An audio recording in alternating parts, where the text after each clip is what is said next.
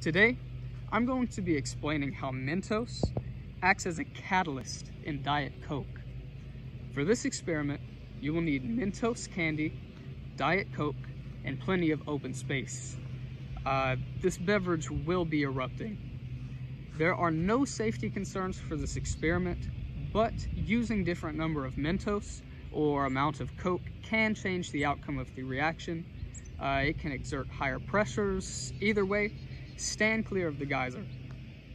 Uh, very quickly, I'm using Diet Coke instead of Standard Coke due to its aspartame content. Uh, this lowers the surface tension of the Diet Coke or, or of the beverage, and hopefully this will allow for a larger geyser. When Mentos are dropped inside of the Diet Coke, disruption occurs. Uh, fascinatingly, disruption occurs at the site of the individual pores on the Mentos surface.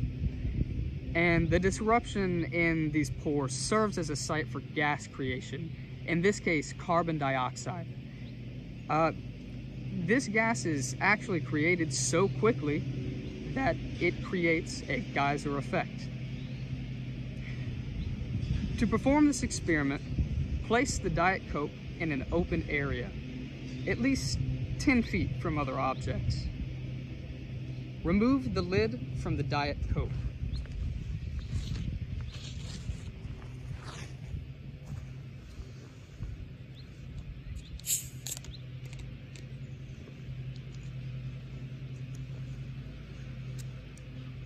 Take your Mentos candy.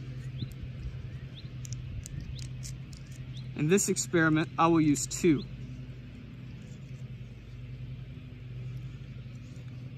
Drop the candy in the Diet Coke, then swiftly back away to record your observations from this reaction.